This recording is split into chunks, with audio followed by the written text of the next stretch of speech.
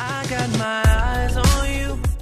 I know, cheesy, but at least you know what this lesson's gonna be about. In this lesson, we're gonna cover not just any kind of ion, but a special type called polyatomic ions. Before we define polyatomic, let's define just ion on its own. An ion, as you might know, is an atom or molecule with a net electric charge, and this net electric charge is occurs to the fact that this atom has either lost or gained one or more electrons. Now remember electrons are negatively charged particles, so if you lose an electron, you actually get a positive sign, and if you add electrons, you get negative. So that's what an ion is, but what's polyatomic?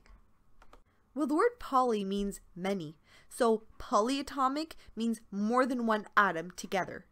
This polyatomic ion acts as a unit in chemical reactions. Now remember, just like in math addition and subtraction, when you subtract a negative value, it's like you're adding. So negative and negative is positive. Removing electrons will give you a more positive charge. Likewise, if you gain two electrons, you're gaining something negative, so your charge goes down. Let's pause for a little story. Two atoms are walking down the street. Hey, I think I lost an electron. Are you sure? Yeah, I'm positive. Again, cheesy. I just I just love these cheesy chemistry jokes.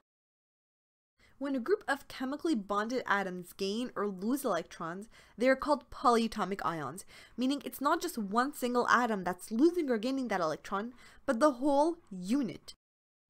These are just some of the polyatomic ions that you're probably going to be expected to know.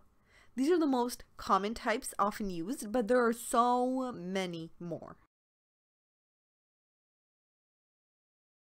And that's it for polyatomic ions. See you next time.